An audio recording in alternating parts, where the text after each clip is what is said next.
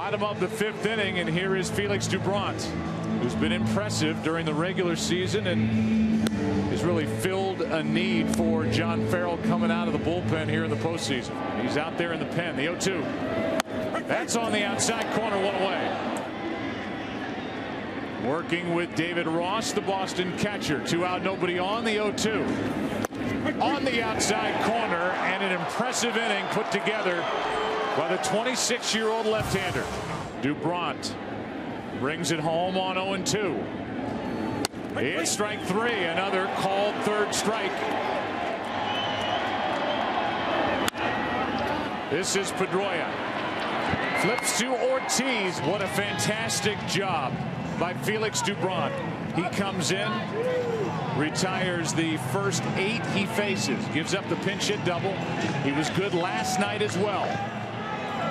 Carpenter coming up. Breslow coming in.